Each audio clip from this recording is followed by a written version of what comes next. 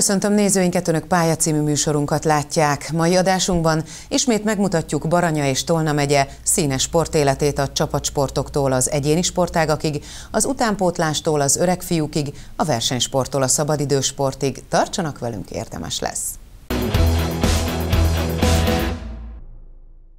Döntetlennel zárta a szezont a labdarúgó megyei első osztály bajnoka. A Bonyhád VLC a városi rangadónak számító Bonyhád Majos mérkőzésen nem tudta győzelemmel megkoronázni a bajnoki sikereket. A Bonyhád a bajnoki cím ellenére marad a megyei első osztályban, de a csapat célja a következő szezonban is a feljutás. A bajnokavató meccsekről azt tartják, hogy kihegyezett küzdelemben a játékosok vértizadva hajtanak a bajnoki címért. A Bonyhád VLC ezt már a megyei első osztály utolsó előtti fordulójában megtette, így már bajnokként várhatta a völtség legnagyobb derbiét, a Majos elleni mérkőzést. Mindkét fél támadó szellemiségben kezdte a mérkőzést, és az első félidőben egy-egy gól született. A bonyhádiaknál Udvardi Roland lőtte a gólt, míg a majosiaknál Gere Oszkár fejelte a labdát a bonyhádiak kapujába. A második félidőben már kiegyenlítettebb harc zajlott a pályán, gól azonban nem született. A bonyhádiak csapatkapitánya a bajnoki győzelem mámorában nyilatkozta, hogy bár ezt a meccset nem sikerült megnyerni, a céljuk jövőre megismételni a bajnoki sikert az új sporttelepen. Megnyertük a bajnokságot, ennél többet nagyon nem kell mondani erről az idényről. Kicsit szomorú vagyok, hogy a, ezt a mai meccset nem tudtuk megnyerni, mert ez, ez, ez, a, ez a rangadó ez mindig olyan, hogy, hogy, hogy szomorúak vagyunk, hogyha nem nyerünk, de egyébként boldogak vagyunk, örülünk, hogy megnyertük a bajnokságot, aztán megyünk tovább. A Bonyhádiak vezetőedzője Köllő Roland az egész éves kemény munkát méltatta a mérkőzés után. Bár sajnálta, hogy az utolsó meccset hazai pályán nem sikerült megnyerniük, azt mondta örül, hogy a szezon végén a Bonyhádiaké lett a bajnoki cím. Hát nem így terveztük az utolsó mérkőzést, ahogy ez alakult. Mindenképpen szerettünk volna győzelemmel búcsúzni a lelkes közösségünktől. Hát sajnos ma, ma nem sikerült, nem is játszottunk jól. Igazából én azt gondolom, hogy már nagyon vártuk a végét. Ilyen, ilyeténképpen szerencsénk is van, hogy a múlt héten eldőlt a bajnokság, de reménykedem abban, hogyha múlt héten nem dőlt volna el, akkor itt azért tudtunk volna nyerni. Ez már nem derül ki. Ugye bajnokok lettünk, egy nagyon jó bajnokságot nyertünk meg olyan szempontból, hogy, hogy sok a közvetlen riválisaink nagyon jók voltak, és nagyon komoly támadójátékkal rendelkezett mind a Tolna, mind a Tamási, úgyhogy ezért nagyon örülök neki, hogy, hogy sikerült megnyerni a bajnokságot. Mindig azt hangoztattuk, hogy a védekezésünk az megfelelő, ugye mi rúgtuk a legtöbb gólt a bajnokságban, és mi kaptuk a legkevesebbet, és a pontok számában is, is ugye elővégeztünk. Merem azt remélni, hogy megérdemelt nyertük meg a bajnokságot. A mai mérkőzés az nem erre utal, de, de biztos vagyok benne, hogy, hogy nagyon sok ember nagyon sok mindent megtett annak érdekében, hogy, hogy, hogy, hogy ma mi legyünk a bajnokok. A meccset lezáró hármas sipszó után a játékosok görög tűzzel és pesgővel ünnepeltek a pályán. Az ünneplés csak egy kis ideig szakadt meg, amíg Bonyhát polgármestere Filóné Ferenc Ibolya átadta az aranyérmeket és a kupát a csapat tagjainak. A bonyhádiak meglepetésre ezután nem lépnek fel a labdarúgó MB3-ba, Ugyanúgy a megyei első osztályban folytatják a küzdelmet, hogy a jövőre megújult sporttelepen ismét kiharcolják a feljutást, amit azután el is vállalnának. 21 legénység küzdött a magyar bajnoki címért a Domboriban rendezett 17. Magyar Sárkányhajó bajnokságon. Az Európa és Világbajnokságra utazó kerettagoknak ez egy felkészülési állomás volt, hiszen már korábban eldőlt a kiutás sorsa. Tolna megyét a faddiak képviselték.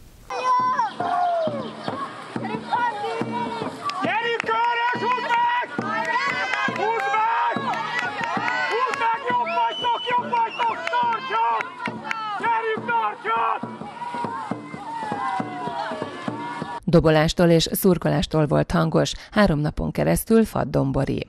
Az ország sárkányhajósai rendezvúztak itt a 17. Magyar Sárkányhajó bajnokságon.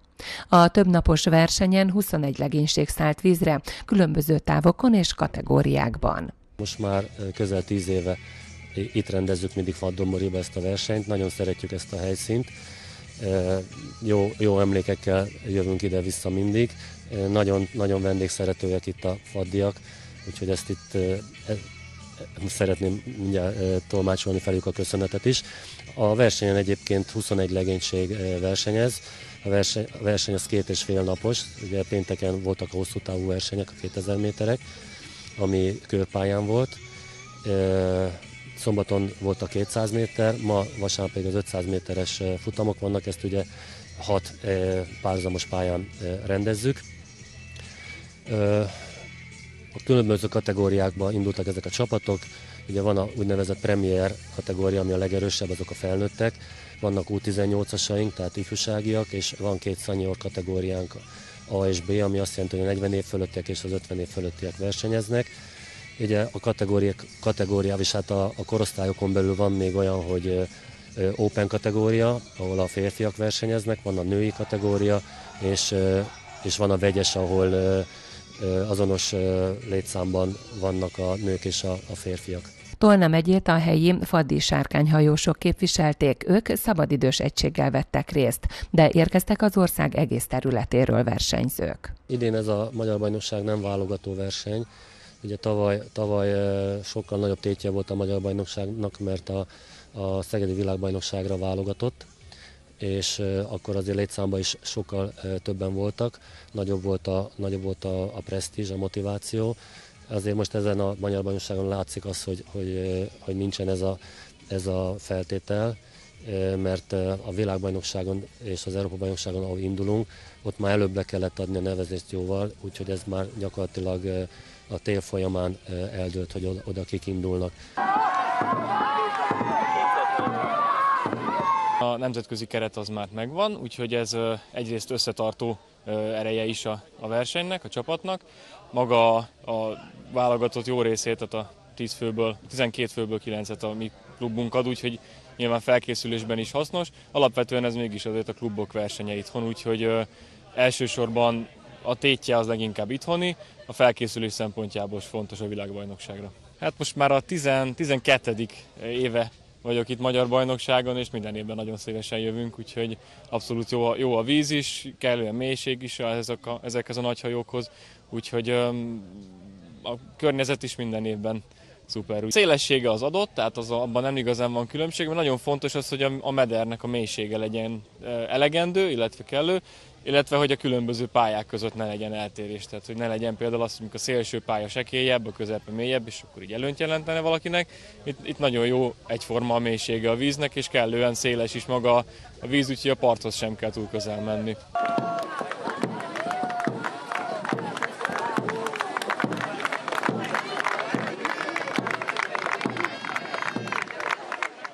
A Paksi Deák Ferenc általános iskola harmadik korcsoportos lány röplabda csapata a május 17-én Budapesten rendezett országos strandröplabda bajnokságon a harmadik helyen végzett.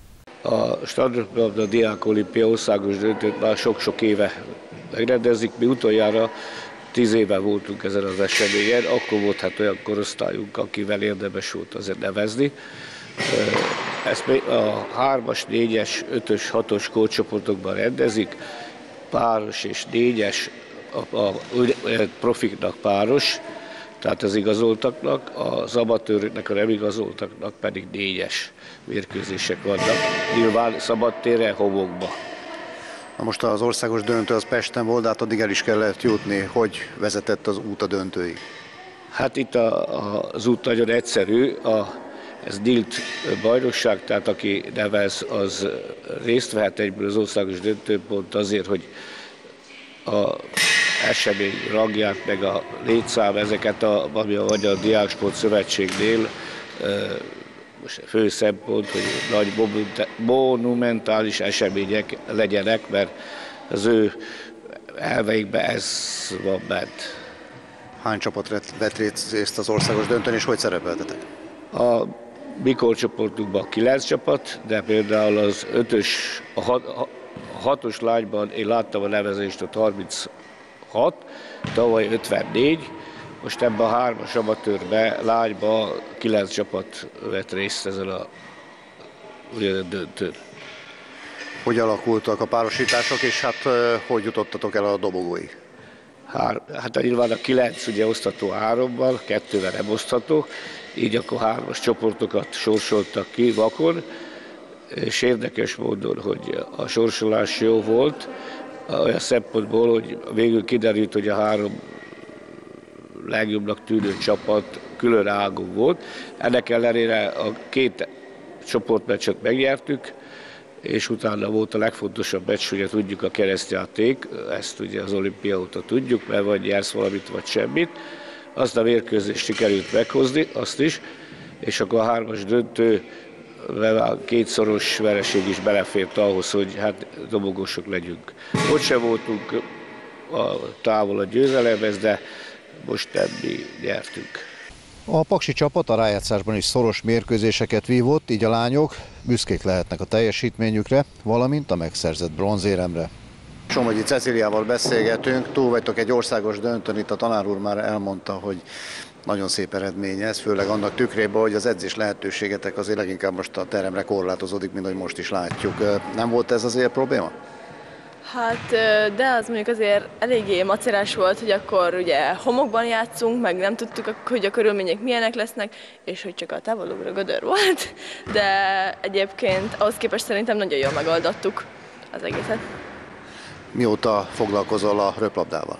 Hát harmadikban kezdtem, de utána a negyedikben kimaradt, mert nagyon zsúfolt volt a hetem, és nem fért bele, de utána viszont ötödik, hatodik így végig, szóval három éve. Mi a terv, hogyha az általános iskolát befejezted, akkor szeretnél olyan helyen tovább tanulni, ahol röplabdázni is tudsz? Hát szeretnék, de nem tudom, hogy erre hol van lehetőség, meg hogy, de hát igen, szeretnék. Egyébként, hogyha visszaemlékszel a döntőre, ugye a harmadikak lettetek kilenc csapatból, a tanár úr már elmondta, hogy hogy alakult az út a döntőig. Milyenek voltak az ellenfelek? Hát az első meccs az, az nagyon, tényleg az volt a kritikus meccs, amikor így hát rá kellett hangolódnunk az egészre, ha sikerült megnyernünk, akkor egy jó hangulatot adott, és utána megnyertük a, utána a következő kettőt, és akkor már biztosan ben voltunk a helyezettek között. Utána viszont, mivel fejben a másik csapat jobban ott volt, ezért ők nyertek, és aki első lett, őket pedig hát kis szerencsével talán meg tudtuk volna verni, de az így jött össze most. De azért nem vagy elkeseredve? Nem, hát azért egy országos harmadik hely az, az azért nagyon jó, szerintem úgy, hogy ilyen lehetőségeink voltak, az, az nagyon, nagyon jó. Tudjuk már, hogy milyen szép eredményt értetek el az országos döntőbe. Látom, te is csupa mosolyva. Egy te mióta röplabdázol egyébként itt az iskolában? Hát harmadikos korom óta, még az alsóban a kis teremben ott kezdtük, és ugye felsőben meg folytattam ugyanúgy tovább. Mennyire más egyébként ez a műfaj itt a teremben, mint mondjuk kint ugye a strandröplabda? Hát egyrészt ugye sokkal furább homokon játszani, mert nehezebb mozogni és többet kell futni is ugye a strandröplabdába. Szerintem benn könnyebb, jobban szeretek benn játszani. Épp ezt akartam kérdezni, hogy ha majd dönteni kell a későbbiekben, hiszen a strandröplabda azt tudjuk, hogy milyen népszerű sportág épít, beszéltük, hogy már az olimpiai műsoron is szerepel, akkor nem tervezett, hogy átpártolsz majd a másik ághoz, a strandröplabdához? Hát annyira nem tervezem, én jobban szeretek itt ugye játszani, meg a kintit azt legfeljebb úgy, hogy barátokkal mondjuk elmegyünk a strandra nyáron, és akkor ott ilyen hobbi szinten, vagy így.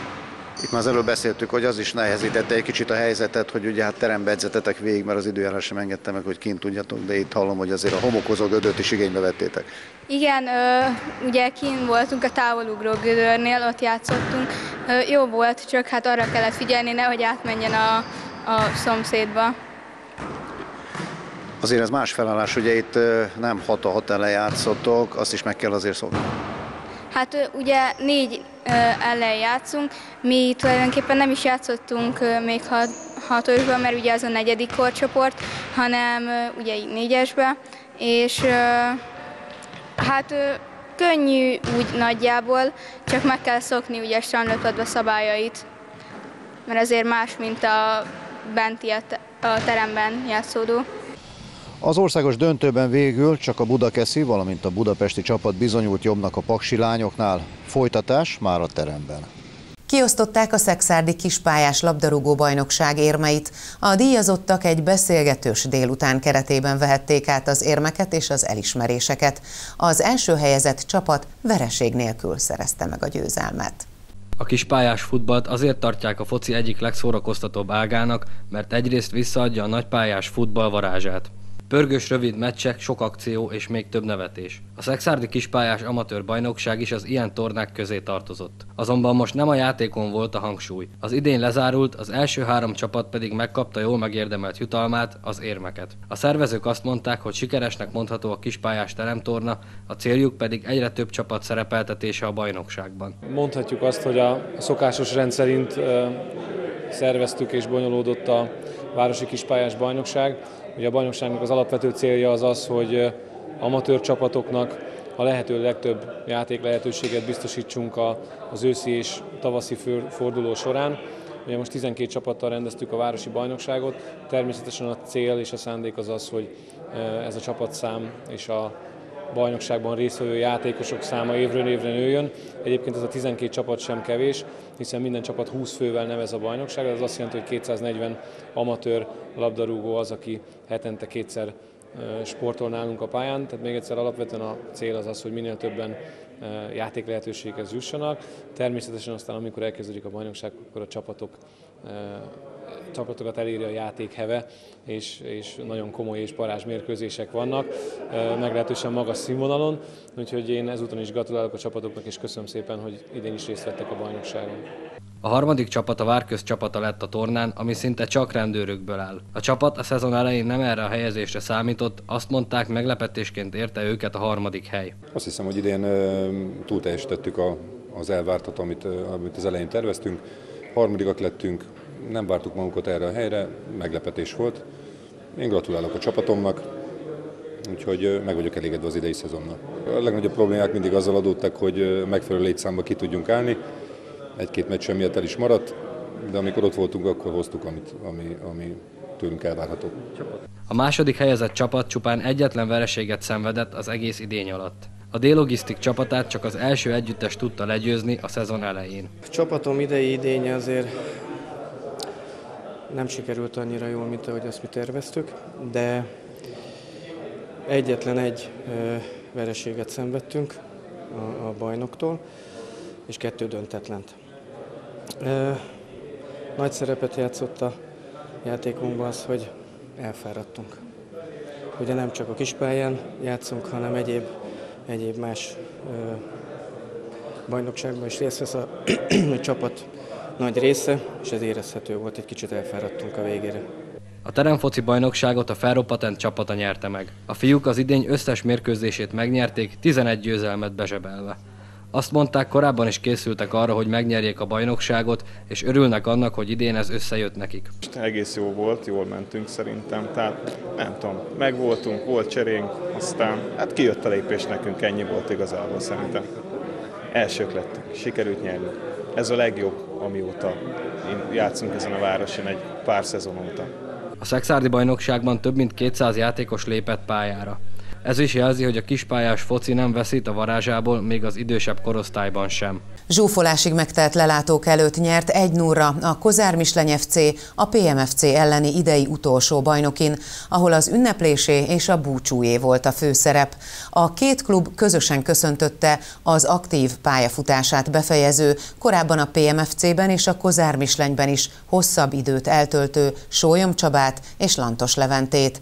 Rajtuk kívül német Zsolt edzőtől is elköszöntek a mislenyiek, a nagyszünetben pedig az utánpótlás csapatok kapták meg érmeiket. Nem volt tétje a hétvégi utolsó fordulónak az MB3-ban baranyai szempontból, mégis presztis csatát vívott a Kozár Misleny FC és a PMFC.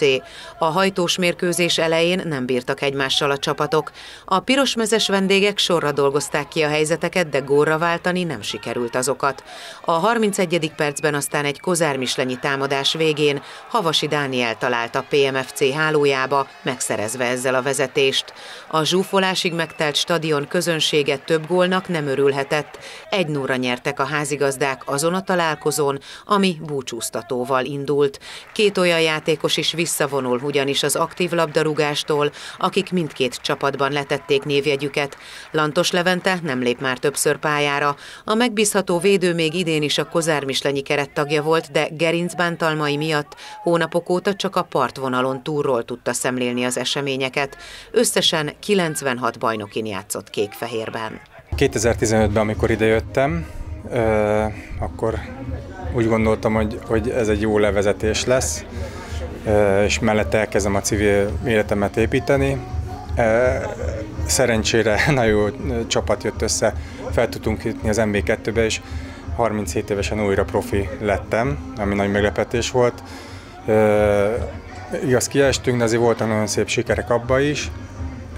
Hát és utána újra, újra kellett építeni a, a klubnak egy, egy csapatot, mert, mert nem maradt senki. De hát azért mégiscsak van jövő, mert, az, mert szép eredményeket érünk el azóta is. Igaz, nem tudunk oda kerülni az első ötbe, hatba, de, de, de vannak jó eredményeink. Hát szerettem volna még játszani, mert a játék a, a mindenem volt egész eddig, de be kellett lássam, hogy, hogy a szervezetem már nem alkalmas arra, hogy, hogy ilyen, ilyen szintű sportot folytassak. És, és tényleg a, a Kozár Misenyi Klub végig kitartott mellettem, amit, amit nagyon köszönök mindenkinek, aki, aki itt dolgozott, és a tulajdonos úrnak Feleki Attilának, mert, mert bíztak ők is bennem, és ez nagyon jó érzés volt. Azért tudtam még játszani ebbe a szezonba, hat meccset végig, meg csereként egy-kétszer beálltam, de ennek így kellett lenni, hogy ebbe az évbe be kellett, hogy fejezem a, a pályafutásomat. Szögre akasztotta a kapuskesztyűt a PMFC-s nevelésű Sólyom Csaba, aki 89 alkalommal védte a Kozár Misleny kapuját. Először is nagyon köszönöm mindkét klubnak, hogy megemlékezett rólam. Gyakorlatilag mindenki tudja, aki ismer, hogy a PMFC szívem csücske, de mikor Kozár Mislanybe kerültem, egy olyan impulzus kapott a pályafutásom, ami gyakorlatilag elkísért az utolsó éveimbe, és a klub szeretete, az, hogy mindenki bízott bennem, óriási lendületet adott nekem is, és mondhatom azt, hogy itt nyújtottam a legjobb éveimet. Hosszú évek után a hétvégi mérkőzést követően elhagyta a klubot német Zsolt. A tréner 2013 ősze óta kisebb megszakításokkal dolgozott a kék-fehér színekért. Nagy küzdelem folyt a pályán, mindenki csapat megszerezte volna szerezni a győzelmet. Úgy gondolom, hogy egy színvonalas küzdelmes mérkőzést láttak a sok kilátogatott szurkoló. Kicsi szerencsésebbek voltunk ma, és így meg tudtuk nyerni a mai nap a mérkőzést és tovább sok sikert kívánok a PNFC-nek a következő szezonban. Kívánom, hogy érjék el a céljukat. Nagyon nagy érzelmek fűznek a klubhoz. Nehéz róla beszélni, de azt kell mondjam, itt értem az eddig pályafutásomnak a legnagyobb sikereit. Nem tudom, hogy lehet majd überelni, mm, majd meglátjuk. Még mindig itt fogok lakni, tehát úgyhogy nem fogok a csapattól, igen.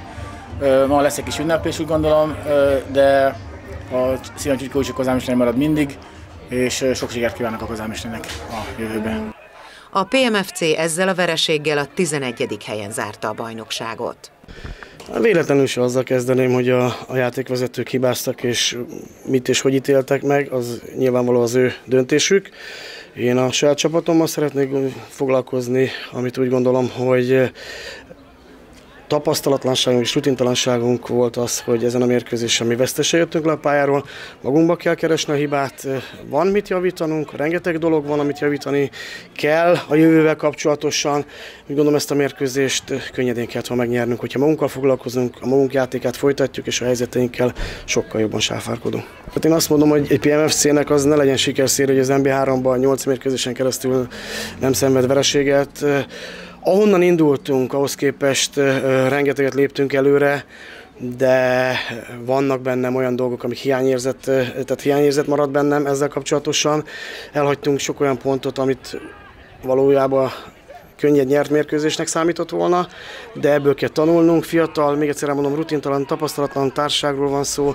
Azt azért hozzá kell tennem, hogy a mai mérkőzésen pályára lépett olyan játékos is kettő is, aki tegnap 90 percet játszott, utazott Kecskemétre, onnan jött vissza, és játszott, tehát rengeteg olyan fiatal játékos kapott lehetőséget a mai nap is, aki úgy gondolom, akikre lehet építeni, és ha tudunk a hibáinkból tanulni, és tudunk lépegetni előre, akkor egy szebb jövőért úgy gondolom jövőre nagyobb reményekkel kell, hogy belevágjunk a bajnokságba.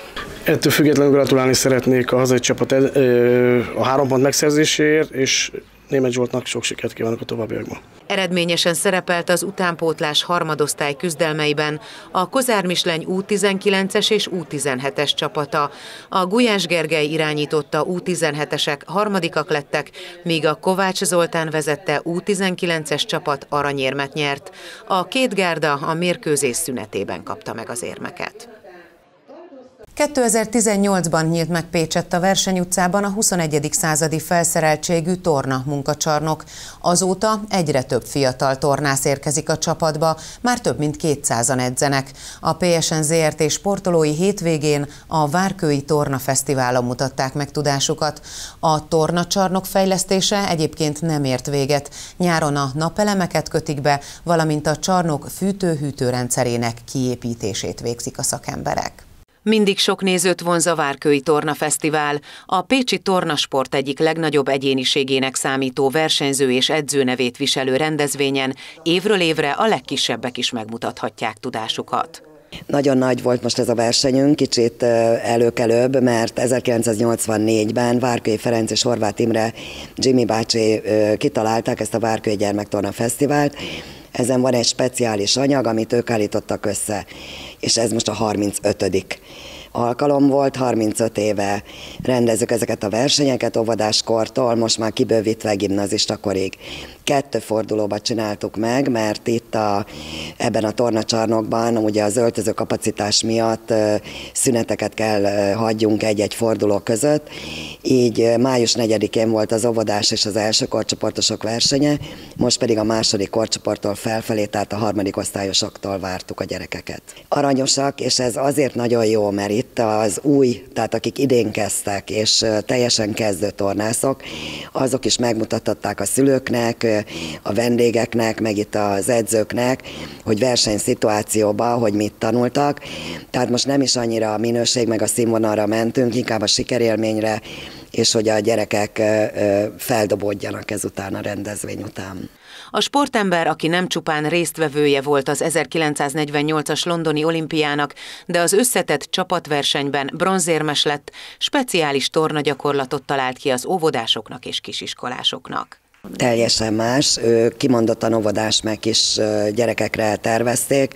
Földi gerendán van egy nagyon egyszerű gyakorlat, és hát a talajon meg majd, hogy nem azt mondom, hogy komolyabb, mint a ö, diákolimpiás, mert ö, az előre bukfenc, híd, gyertya, és a hátra bukfenc az azért már egy kicsit komolyabb, mint a kis cigánykerék és a hátra bukfenc. A PSN ZRT tornászai szép sikerekkel büszkélkedhetnek az idei szezonban is. Nagyon jó volt az év, nagyon büszkék vagyunk, a, a gyermek haladóba tudtunk már idén elindulni, és nagyon sikeresen vették, második helyet értünk el a vidékbajnokságba, hogy gyakorlatilag csak Dunai város előzte meg a csapatunkat, úgyhogy le a kalappal Mészárosné Suha Mónika, Somogyi Attila és Vecsei Kifer Andrea munkája előtt. A fiúknál meg ismét egy nagy lépés volt, mert el tudtunk indulni gyermekkezdőben, úgyhogy most bízunk abban, hogy a PSN ZRT nagy támogatása mellett a MOB 21 programba, a Magyar Olimpiai Bizottságnak a programjába a fiú torna is bekerül, és akkor így még tudunk fejlődni minden irányban. A PSN ZRT tornászai már a nyárra készülnek, mivel a tavaly átadott torna munkacsarnok hűtő és fűtőrendszerének kiépítése, valamint a napelemek bekötése hátra van, ezért a nyári foglalkozásokat csak az Egyesület tornászainak hirdették meg, de a tervek szerint jövőre már toborzásra is tudják használni a nyári időszakot. Ennyi fért mai sportműsorunkba, jövő kedden találkozunk viszontlátásra.